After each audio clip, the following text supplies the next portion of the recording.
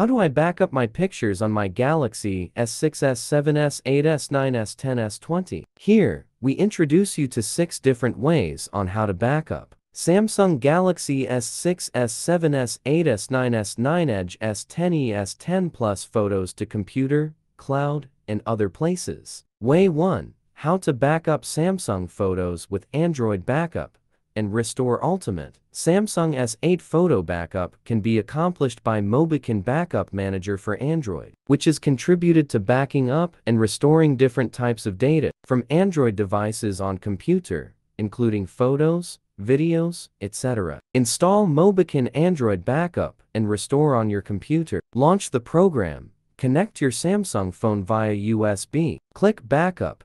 Choose Photos and click Backup to start. Way 2. How to backup Samsung S6, S7s, 8s, 9s, 10 photos with Assistant for Android. MobiKin Assistant for Android can not only help users to backup all or specific photos, on Samsung mobile phones with one click and restore them easily to mobile phones. It can also manage almost all data on all Android. How to backup Samsung photos by using Assistant for Android. First step, connect Samsung Galaxy to computer. Second step, preview and select the photos you want. Third step, how to backup Samsung S6, S7s, 8s, 9s, 10 photos. Install Samsung Kies on your computer. Connect your Samsung phone via USB. Ignoring any firmware upgrade prompts. Dot, dot in the interface, choose Backup Restore.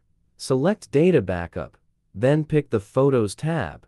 Click Backup to start. Way 4. How to backup my photos on Samsung Galaxy to computer by copy and paste. Connect your Samsung Galaxy phone to your computer using a USB cable. Once connected, unlock the phone and drag down the notifications panel. From the top of the screen, choose Media Device MTP. Open Computer or Windows plus E. Go to Portable Devices and enter Internal Storage. Locate the DCIM folder for photos.